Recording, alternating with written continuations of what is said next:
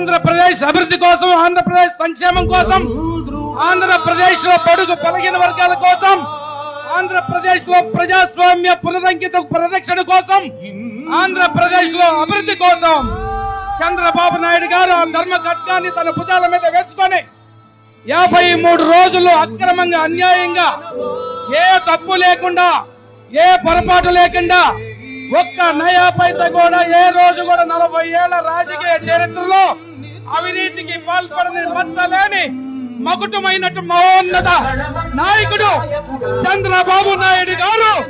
మీకోసం మన కోసం ఈ దేశంలో ప్రజాస్వామ్యం కోసం పరిరక్షణ కోసం జైలుకు వెళ్ళి జైలు జీవితం గడిపి ఆంధ్రప్రదేశ్ ప్రజల కోసం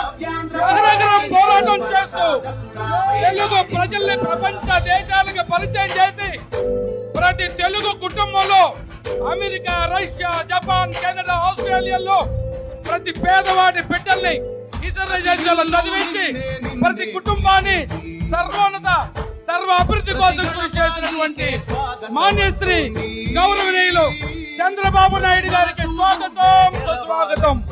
ఈ మహాసభ ఈ లక్షలాది జనం ఈ గడికిది.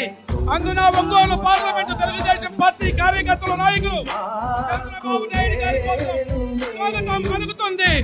జై హో చంద్రన్న. జై హో చంద్రన్న. జై హో చంద్రన్న. జై హో చంద్రన్న. ఈ జిల్లాలో వెలుగొండ ప్రాజెక్టు సాధన జరగాలన్నా ఈ జిల్లాలో నిమ్స్ రావాలన్నా